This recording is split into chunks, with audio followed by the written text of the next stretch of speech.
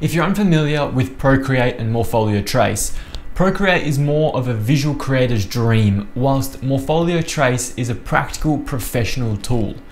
Having said this, which one is better for architects and which one is the best tool you can find?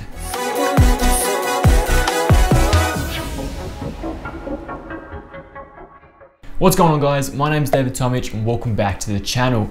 If you're new here, firstly, thank you so much for joining me. On this channel, we talk about technology and architecture. Today, we're talking about Morpholio Trace and Procreate.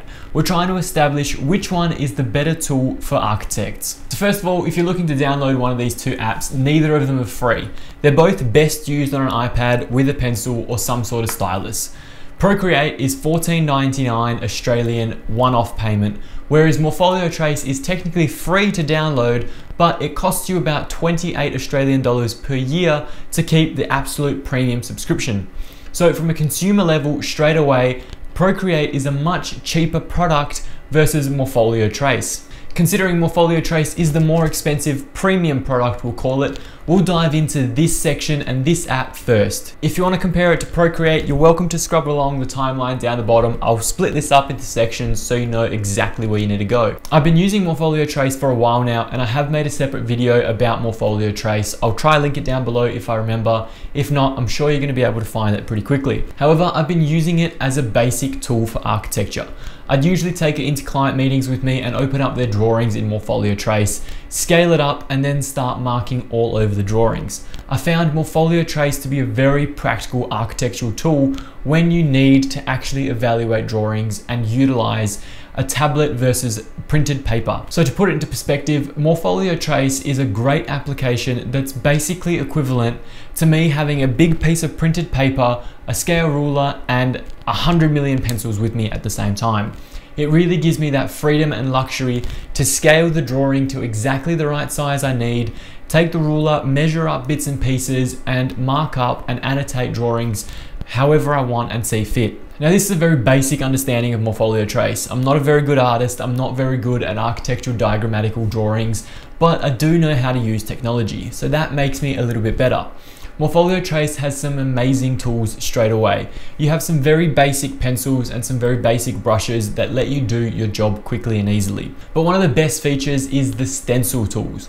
Straight away in Morpholio Trace, you don't have to go and download any extra bits and pieces. You can literally pick up your tablet, pick up your pencil, and start using all the built-in stencils.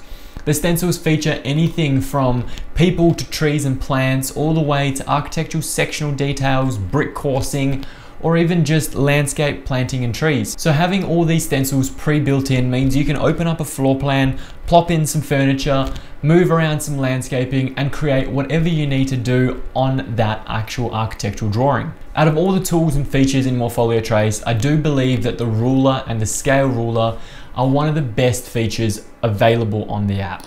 This feature isn't available on Procreate and we'll get to Procreate in just a second, but having that ruler and having that ability to quickly scale and use the ruler to understand the scale of any drawing as long as it has some sort of scale on it is really fundamental and pivotal.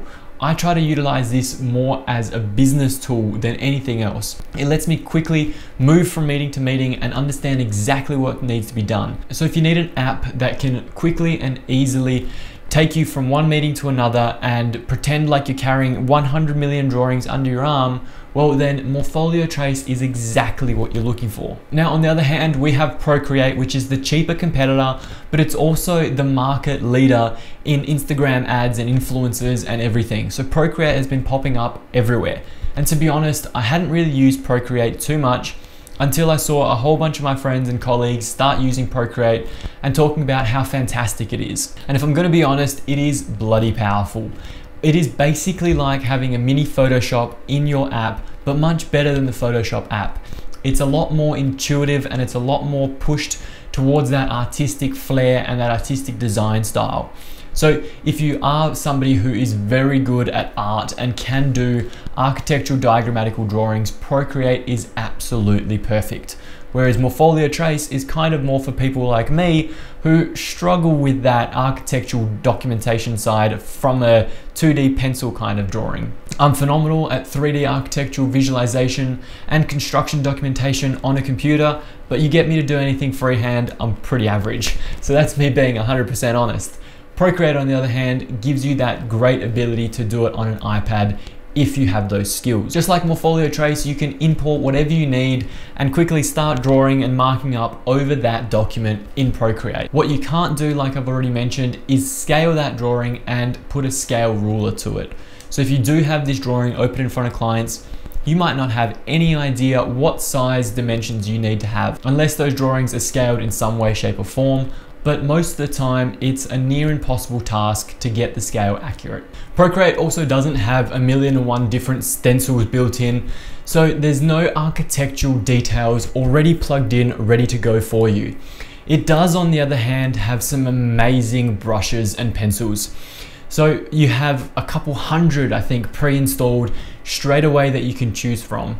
I found the light flares and the water to be really, really amazing for all of your architectural renders that you're trying to improve. And because Procreate is such a well-known app, there's a million and one different brushes and pencil sets out there that you can go out and download and buy. I know Eric over at 30 by 40 runs an amazing YouTube channel on architecture and architecture design as well. If you aren't following him, go check him out. He's phenomenal. He has his own Procreate pack for architects and designers. I haven't downloaded, I'm sorry Eric, I'm too cheap, but there is some amazing brushes in there that you can go and actually showcase and use for yourself. If you have the time to set up Procreate properly and create your own brushes or download a few from somewhere else, it is a phenomenal app. It has so much power and so much ability to create incredible pieces of artwork. Now, if you're trying to elevate any of your drawings that have been exported out of an architectural package, you can quickly import them and start utilizing that floor plan and creating some artistic documents. That's kind of what Procreate does better than Morpholio Trace. It gives you that ability to be an artist and to have free reigns however you want but it's also a con if you don't know what you're doing. Whereas Morpholio Trace is kind of a little bit more guided. It lets you emulate that architectural style drawing instead of having to actually learn how to do it. So to wrap it up, Procreate is an incredible artistic architectural tool if you already have the skills as an artist. Whereas Morpholio Trace gives you that ability to do all of your architectural work without having to think too hard about the project. So overall, I think both apps have their own pros and cons. I think both apps are actually necessary for architects in a real world environment. But if you had to choose one, and this is me just speaking personally, it would be Morpholio Trace because it is a much more intuitive app as an architect. Anyway, that's all for me today, guys. Thanks so much for watching. I hope you enjoyed the video. If you did, make sure you smash that subscribe button down below. This month, I've tried to generate as much content as possible for you guys. So I've done 28 videos in 28 days. Usually it would be, I will see you next Monday, but in this case, I'll see you tomorrow.